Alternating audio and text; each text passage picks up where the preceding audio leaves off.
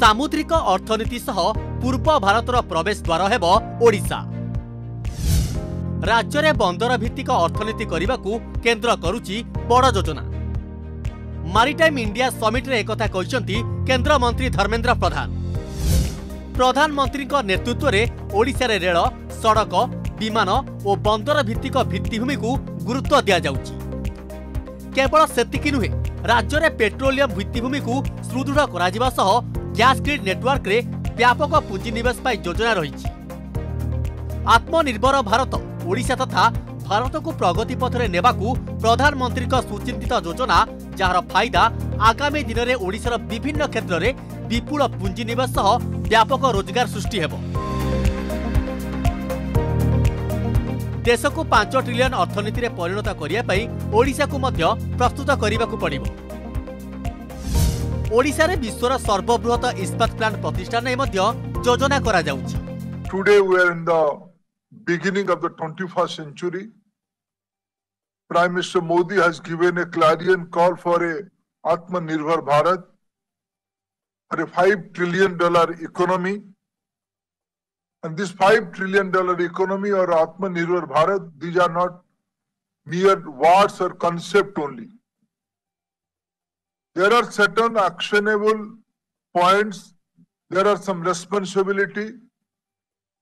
There are some concrete plan to achieve all these targets. And every society, every state has their own roadmap. I'm happy. Government of Odisha is in a very positive note, preparing itself सरकार wealth क्रिएसनै नुहे बरङ शिल्पन निमते सुविधा सुझ भिमि नीति सुरक्षाको अधिक गुरुत्व पऱ्यो प्रधानमन्त्री मत रे बन्दर भित्तिक अर्थनीति केन्द्र सरकार जोजना पारादीप बडबिल्ले अर्थनैतिकडर कोस्टल हाइवे रे वेस्टर्न डक निर्माण ପାରାଦୀପ ହରିଦାସପୁର ରେଳ ଲାଇନ୍ ଓଡ଼ିଶାର ବିକାଶରେ ହେବ ଗେମ୍ ଚେଞ୍ଜର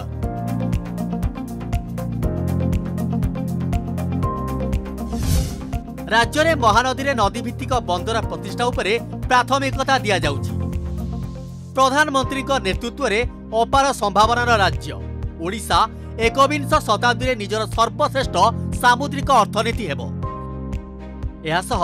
ବାଣିଜ୍ୟ ବ୍ୟବସାୟ ମାଧ୍ୟମରେ ପୂର୍ବ ଭାରତର ପ୍ରବେଶ ଦ୍ୱାର ହେବାର ସମ୍ଭାବନା ରଖିଛି ରାଜ୍ୟରେ ବ୍ୟାପକ ନିଯୁକ୍ତି ସୃଷ୍ଟି ହେବ କେନ୍ଦ୍ରମନ୍ତ୍ରୀ କହିଛନ୍ତି ହଜାର ହଜାର ବର୍ଷ ପୂର୍ବରୁ ଓଡ଼ିଶାର ସାଧବ ପୁଅମାନେ ହିଁ ସମୁଦ୍ର ପଥ ଜରିଆରେ ବିଶ୍ୱର ବିଭିନ୍ନ ଅଞ୍ଚଳକୁ ଯାଇ ବାଣିଜ୍ୟ ବ୍ୟବସାୟ କରିବା ସହ ରାଜ୍ୟର ଗୌରବ ବଢ଼ାଉଥିଲେ ଏବେ ଭାରତକୁ ପାଞ୍ଚ ଟ୍ରିଲିୟନ୍ ଅର୍ଥନୀତି ଲକ୍ଷ୍ୟ ପୂରଣ କରିବାକୁ ପ୍ରଧାନମନ୍ତ୍ରୀଙ୍କ ଆତ୍ମନିର୍ଭର ଭାରତର ଆହ୍ୱାନ ଦେଇଛନ୍ତି तेरे आत्मनिर्भर भारत केवल एक चिंताधारा नुहे बर ओा तथा भारत को प्रगति पथरे ने सुचिंत योजना बोली धर्मेन्द्र प्रधान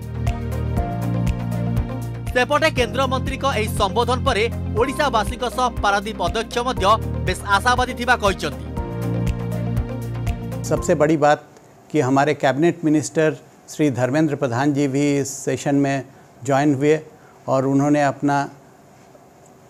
पूरे इन्वेस्टर्स के सामने उड़ीसा स्टेट का प्लान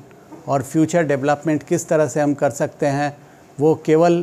पोर्ट सेक्टर में ही नहीं बल्कि रोड रेलवे एयरवेज पाइपलाइन सारे चीज़ों का उन्होंने विवरण दिया और इससे ये साफ जाहिर होता है कि इन फ्यूचर उड़ीसा में इन्वेस्टमेंट अपॉर्चुनिटी इंडस्ट्रियल ग्रोथ की अपॉर्चुनिटी काफ़ी है इसके लिए जो जो इन मिनिमम इंग्रेडिएंट्स चाहिए जैसे बिजली पानी ये सारे चीज़ काफ़ी मात्रा में उपलब्ध हैं और इसके साथ ही काफ़ी स्टील इंडस्ट्री भी आ, आ, आगे आने वाले हैं और जो स्टील इंडस्ट्री ऑलरेडी हैं उनका भी इंक्रीज़ उनका कैपेसिटी बढ़ाया जा रहा है ଓଡ଼ିଶାର ମାରିଟାଇମ୍ ଅତୀତ ଥିଲା ସମୃଦ୍ଧ ଏବେ ବି ସୁଯୋଗ ଅଛି ଆଉ ଏଥିପାଇଁ ପ୍ରଧାନମନ୍ତ୍ରୀଙ୍କ ନେତୃତ୍ୱରେ କେନ୍ଦ୍ର ସରକାର କରୁଛନ୍ତି ବଡ଼ ଯୋଜନା ଜଗତସିଂହପୁରରୁ ବିଶ୍ୱଜିତ ବରାଳଙ୍କ ରିପୋର୍ଟ ଅର୍ଗସ୍ ନ୍ୟୁଜ୍